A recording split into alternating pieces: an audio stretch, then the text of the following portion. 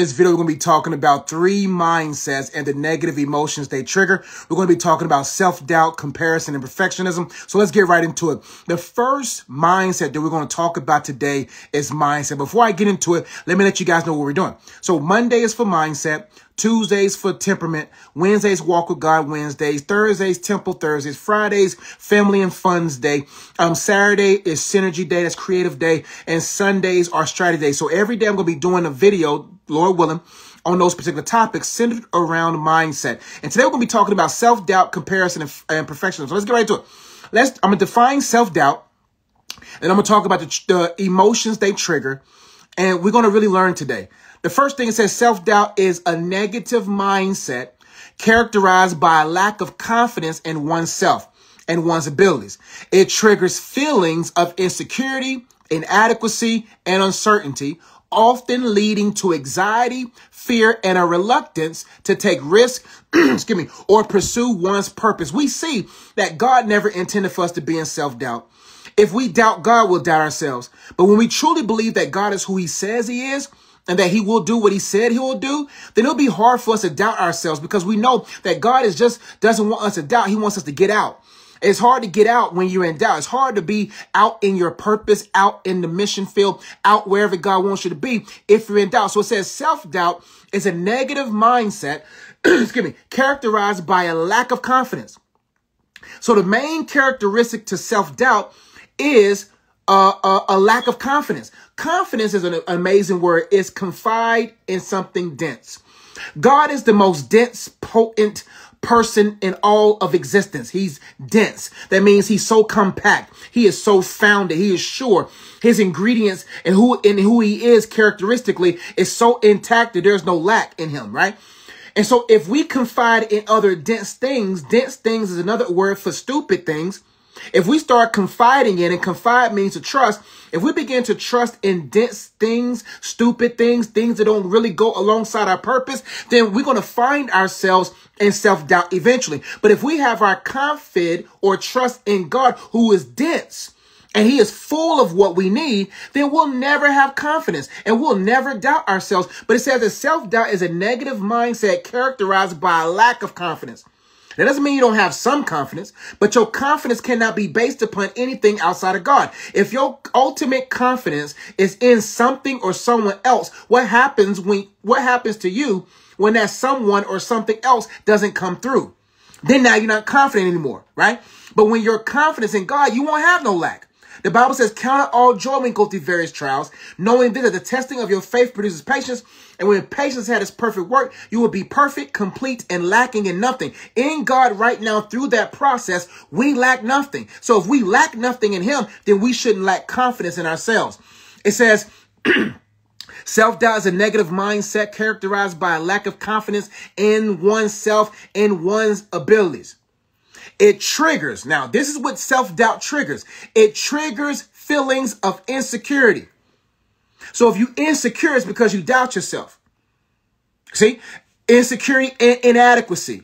Self-doubt begin to make you feel like you're inadequate to what to do what God wants you to do. So now you doubt yourself. So when God, for me, when God told me to write a book, I doubted myself because of past experiences in English. Miss McCullough, my English, I didn't do too well in English. It's very interesting how you how you are attacked in the very area that you're the most gifted. Right? And so because I didn't do well in English and because I started as a kid a lot and because I didn't really, I was an introvert and I like to be around a lot of people like that, I was like, who's going to want to read what I got to say? And then when God was like, yo, I want you to start speaking, I really lacked confidence. I was like, I felt inadequate. I said, I don't have no degree, God.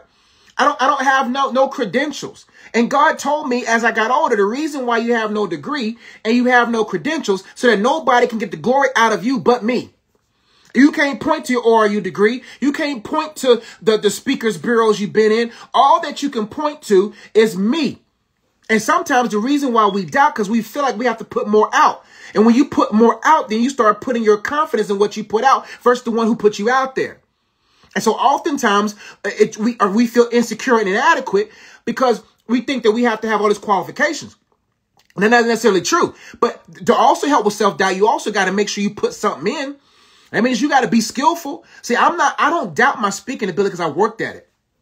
I don't doubt that God wants me to speak, but I can doubt my speaking if I don't put work in my speaking. So what I'm also telling you is you can have doubt uh, because you what you haven't put out. Because I speak often, because I have practice, then what I put out, I trust. Because ultimately my trust in the Holy Spirit speaking through me. Right. But, but what I'm trying to say is that when you have self-doubt holistically or generally, it triggers feelings of insecurity, inadequacy, and uncertainty. So when God puts you out there, there's no need to doubt because God is certain. I don't have to worry about if I'm certain about what the next year holds. I know who holds the next year. I don't, I mean, everybody we went through what we went through in 2019, 2020, we all made it through. And so that just shows that as long as we know who's holding tomorrow, there's no need for me to be in sorrow. Right? But we see that self-doubt triggers insecurities, it triggers inadequacies, it triggers uncertainties. Then it says often leading to anxiety. So now we get into the deep, the deeper emotions that sprouts out from self-doubt, right? Leading to anxiety. Now we're anxious wherever we are because we doubt ourselves. And because our confidence not in God, now we really doubt. Also leading to fear. Now we're afraid to do what God wants us to do. you see how the enemy wars at us with self-doubt? If you doubt yourself, then out yourself. Put, put more output. Put more things into it so you can feel more confident in it. But if your self-doubt is ultimately at its foundational standpoint where you have nowhere to stand and you're not really willing to go where God wants to point you, then man, you got to really begin to investigate why you doubt so much. It says, and reluctance to take risk or pursue one's purpose. So we see self-doubt gives a reluctancy to take risk and pursue one's purpose. Are you struggling with self-doubt today? What does God want you to put out, but you can't come out because you doubt? You got to be a person who's willing to go in that bout and fight and fight and put out what God wants you to put out, despite if anyone buys it, despite eh, obedience is all you got to focus on. You don't got to worry about outcome. Just worry about obedience. God will take care of the outcome. Just obey.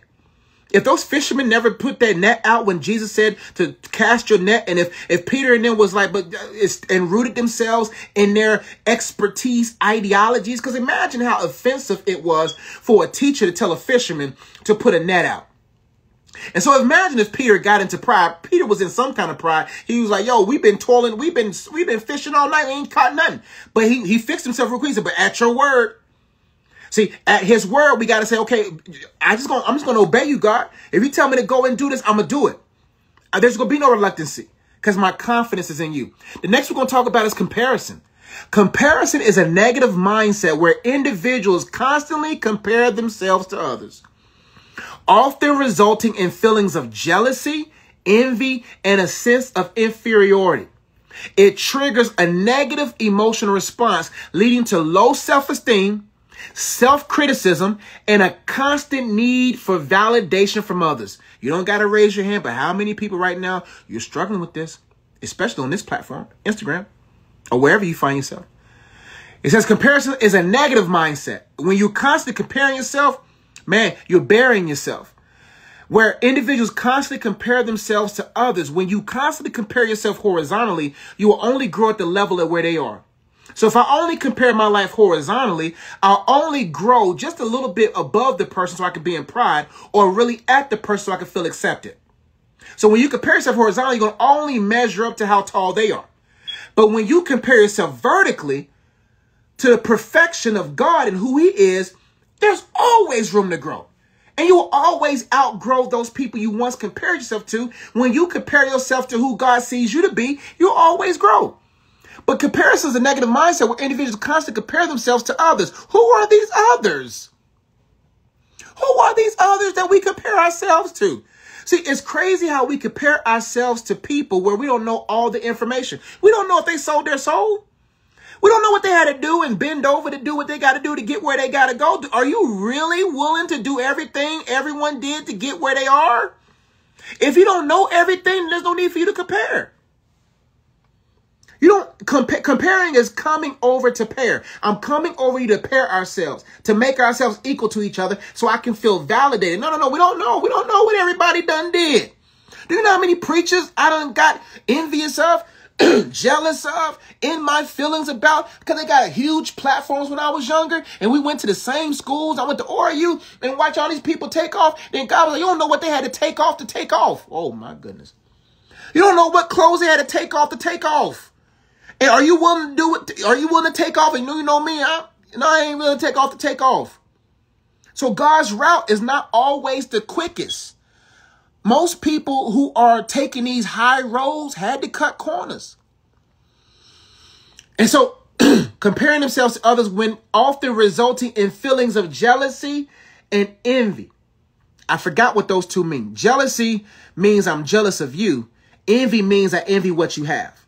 Jealousy is I want to be like you or I wish I was like you. Envy is I wish I had what you had. Yeah. So when you're comparing yourself, you setting yourself up to dark emotions like jealousy. There should be no one that you should want to be completely like. You should want to, you can glean from other people, you can learn from other people, but you shouldn't be trying to be like other people. Jealousy, I want to be like you. I want to do what you do. Jealous of that speaker, jealous of that author, jealousy of that creator, jealous of that influencer, jealousy of that engineer, jealous of that coworker, jealous, jealous, jealous. That's what comparison does. It leads to envy. Now you wish you had the wife they had, the husband. Like it's crazy when people talk to me and they and they're mad about they're mad at their husband and their wife. I say, you know what? Hey, Let's, let's look at the percentages. Yeah, yeah, yeah, yeah. I mean, marriages work, but you don't know what's up under that marriage. That marriage. You don't know what's. You don't know. You don't know. You can't envy everything because everybody put their best foot forward when they're in public, and you envying, you comparing your marriage to their marriage. Listen, do you know how many kids I counsel and the, and the, and the parents I go to church with, and I look at them and I be like, man, y'all look great going down that aisle together. But what I hear in my office something totally different. So imagine me being jealous of, that's why me and my wife, we keep it real, man. Like we don't got time to try to advertise what we're not. That's why we fix it before we go. So, because one thing, I can't fake my face. If I'm mad at you, you know what I'm saying? You're going to feel it. You're going to see it. So why we deal with it, man? Because we don't got time. But comparison leads to resulting in feelings of jealousy, envy, and a sense of inferiority. So now, when you compare yourself to somebody, now you feel inferior to them or when you compare somebody else, yourself to somebody else, now you feel superior to them. And those are dark emotions. When you start feeling inferior or superior, that's bad. That's what comparison is dangerous. It said it triggers now. It triggers more. It, it it it triggers a negative emotional response. So now when you see that person you compare, you got a you got a negative. That's why. It, anytime you naturally immediately trigger emotionally, Investigate that emotion. It shows you something in your heart. Soon as you see someone and you feel a certain type of way, fix it. There's been plenty of people where I practice in my own life. I'm like, yo, if I feel a certain type of way, then man, I got to check my heart. Because am I jealous? Am I envious? Do I feel inferior? Do I feel superior? So anytime your emotions are triggered, you gotta, you gotta investigate it. Because it'll let you know, hey, you struggle with comparison or you struggle with self-doubt, that's what we're talking about mindsets that trigger certain emotions so that you can investigate and examine where you've been sitting your mind. And if you've been sitting your mind in doubt, then you'll you'll see you'll see insecurity, inadequacy, uncertainty, anxiety, fear, reluctancy sprout out all the time. Or when you begin to investigate where your mind has been sitting, you've been sitting and scrolling on Instagram, looking at people's pages, wishing you had what they had. And then when you see that person in the streets or you see that person in your media, uh, social media feed, now sprouting outside of you is jealousy, envy, inferiority, all these negative responses. Man, that's something you got to think about. We all got to think about. And it can happen anytime based upon where your mind is sitting. Some of us, we will shift our mind to sit somewhere else and we won't even know we shifted our mind. And then we find ourselves in doubt in, in comparison. It says it triggers a negative emotional response leading to low self-esteem. Here we go. Now you see that when you compare, we all compare. But we shouldn't fall into comparison. We shouldn't be a son of comparing. we shouldn't be a child of comparing. I shouldn't be a son of comparing. Meaning that, that I'm raised by my comparisons, right? No, when you, when all of us compare, but we should be comparing for growth. Like when I look at other people and they're gifted something, I don't envy them. I don't jealous of them. I learn from them. Okay, oh, they, they talk like that. They, I'm a learn from them, right? But the reason why we got to stop comparing is because it will lead to low self-esteem. Then when you, no matter how much energy, no matter what you do, you will never measure up to them. Now you deep and dark and low self-esteem and self-criticism. Now you're criticizing yourself and a constant need for validation from others. Nobody got time to constantly looking for validation. Because when you're a slave to being accepted, then you'll always be in prison to their rejection. If you live for people's acceptance, you'll die from their rejection. So that's why you can't compare, man. You got to focus on comparing yourself today, who you was yesterday, and then try to reach the person that you need to be tomorrow and focus on those comparisons. That's what you compare. First, you compare yourself to God and say, God, you know, and you, it humbles you. But it, then it sprouts a level of, of, of habit in you that's like, yo, I'm to, I'm to get better so God can be even more glorified. And you compare yourself to who you was yesterday. Am I further up the road than who I was yesterday? If you're the same person that you was a year ago, then comparison is, is your enemy. Or something else. You, none of us should be the same person we was a month ago. We shouldn't be the same person we was a day ago. Every day gives you intel to remove the hell. Every day gives you intel to, to do well and to get better, right? So self-doubt says, self-doubt is a negative mindset characterized by a lack of confidence in oneself and one's abilities. It triggers feelings of insecurity. Oh boy, look at that stutter. And see, see, still a work in progress. It triggers feelings of insecurity, inadequacy. That stutter came because I was speeding. That's all it was. Sometimes you got to slow down, coach. You were speeding, coach. You were speeding through that word. You trying to get through that paragraph, and that's you hit that speed bump of stuttering. Man, you had to slow down. So let me slow down. It triggers feelings of insecurity, inadequacy, and uncertainty, often leading to anxiety, fear, and a reluctance to take risk on one's purpose, right? We say comparison is a negative mindset where individuals constantly compare themselves to others. Often result, see, there's nothing wrong with, with comparing skill, but don't compare yourself. Comparing skill is fun. Okay, oh, you good at that. How can I learn from that? But I'm not going to compare myself. And what I mean by comparing myself, nothing really wrong with seeing someone who have uh, intangible traits that you want to adopt or whatever, but that's skill. But you don't want to compare yourself, and then it leads to this.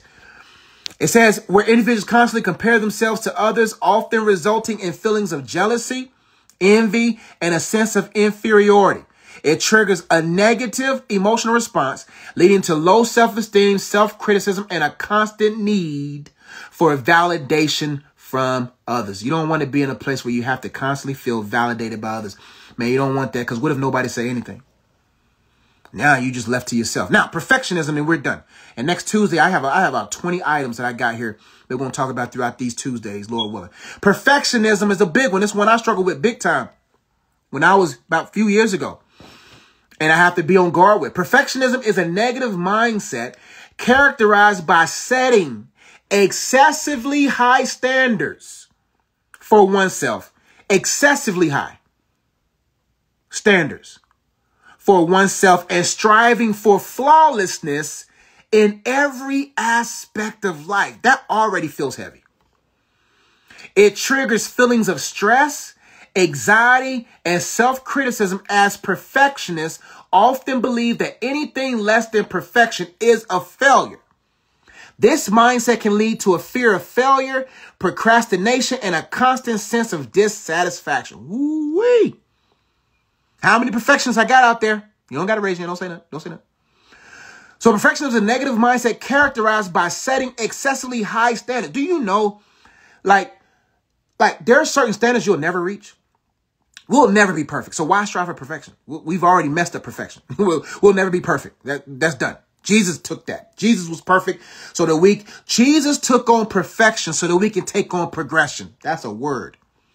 Jesus took on perfection, fulfilled perfection so that we'll have the opportunity at progression.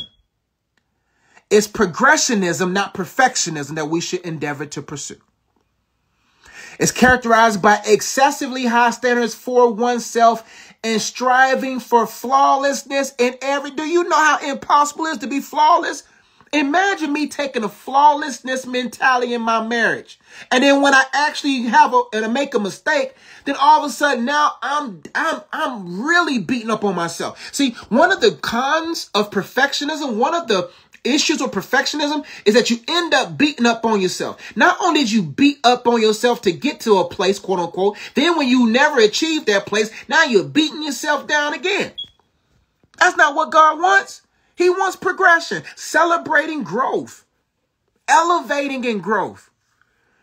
It says setting excessively high standards for oneself and striving for flawlessness in every aspect of life. That's impossible.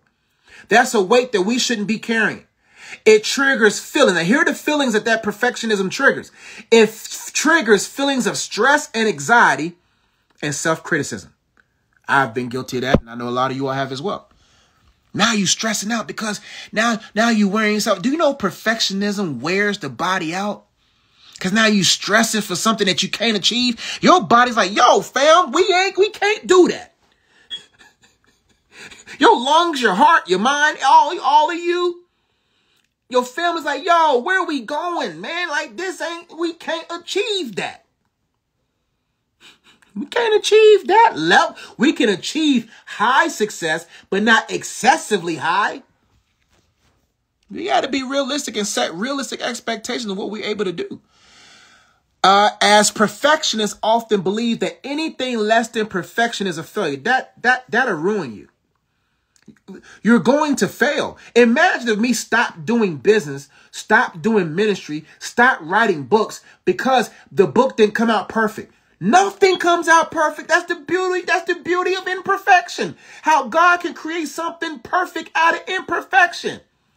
These, I don't stutter how many times, but the message still came out perfectly. Like, like nothing comes out perfect, but it comes out perfectly. Big difference. Perfectly means it did its job. Perfect means you you was trying to force it to do a job higher than what it was capable of. This mindset can lead to a fear of failure, procrastination, and a constant sense of dissatisfaction. Now you're never happy. You're never satisfied.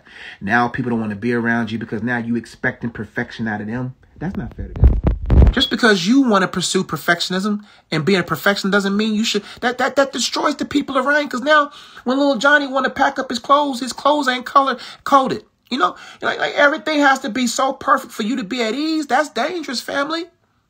You don't want that. So today we talked about self doubt and the feelings it triggered. We talked about comparison, the feelings it triggered. We talked about perfectionism and the, and the feelings it triggered. And I want you guys to start thinking about if any one of those mindsets pertain to you. I want you to begin to think about why. Because I talked about on our fundamentals coaching call today, we talked about um, how belief and how um, the reason why we can't receive it because we don't believe it. The reason why we don't receive from God is because we don't believe God. Why would God? God's not gonna force nothing in a closed fist. And if you don't really believe and if your spiritual health is not strong, then these mental areas are going to be weak. They're going to be diseased. They're not going to be healthy. And so you got to look at your spirit like, like, man, what do I really believe? Do I really believe in God? I really believe that, that he created me for such a time as this to do great works, really do exploits. Do I really believe in my purpose and my purpose can impact people? Do I really believe that, that th- my business can scale? Do I really believe that I can, that I can create this? Do I really believe you will never receive it until you believe it. That goes both ways. You have to receive it to believe it to receive it. You have to receive it. You have to believe it. Hold on. You have to receive it to believe it. Hold on. You got to believe it to receive it to receive it. There we go. You have to believe it. you have to believe in God. You have to believe in yourself in order to receive what God wants you to have and then and to receive what you desire to have in your life. So I pray this video is a blessing to you. You got something out of it, if you need support with your mindset, you're like, yo, coach, I need some help in that area. Message me today, mindset. If you're watching on YouTube, uh, comment below mindset and I'll send you a link to see where you are, to see how we can get you to a place where you pursue your purpose. The number one thing hindering high fulfillment in our purposes is our mind. How can we receive it if we don't believe it? Love you. I got to go. I done, I done, I done labored an hour and 30 minutes on the other side on a Zoom call. And I labored. I don't even know how long I've been laboring here. Uh, that's right, my brother. Receive, believe, achieve. That There we go. Thank you, brother. You helped me out. Receive, believe, or achieve. Believe, receive, achieve. There you go. Thank you, my brother. You got to believe it to receive it to achieve it. Love y'all. Catch you next time. Peace.